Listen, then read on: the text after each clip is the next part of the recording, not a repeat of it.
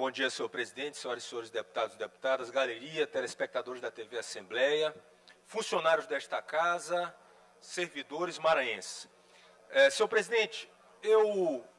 em primeiro lugar, gostaria de saudar a todos os deputados e deputadas, ao povo do Maranhão, por ser a primeira vez que subo a esta tribuna nesse novo, manda nesse novo ano legislativo.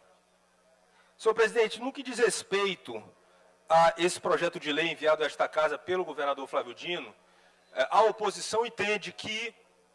nós precisamos de um tempo para analisar com mais calma esse projeto de lei,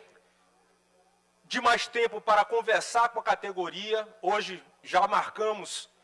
agora após a nossa sessão, a nossa sessão ordinária, marcamos uma audiência com líderes da categoria para que a gente possa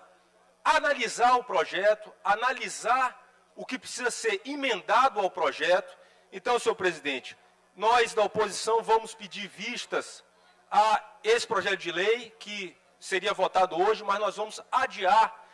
a votação desse projeto de lei para que a gente possa conversar com a categoria,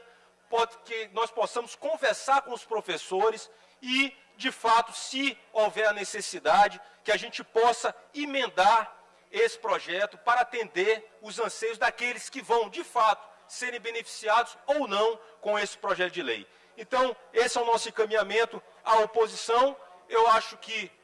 nós podemos até abrir os trabalhos da CCJ, mas no,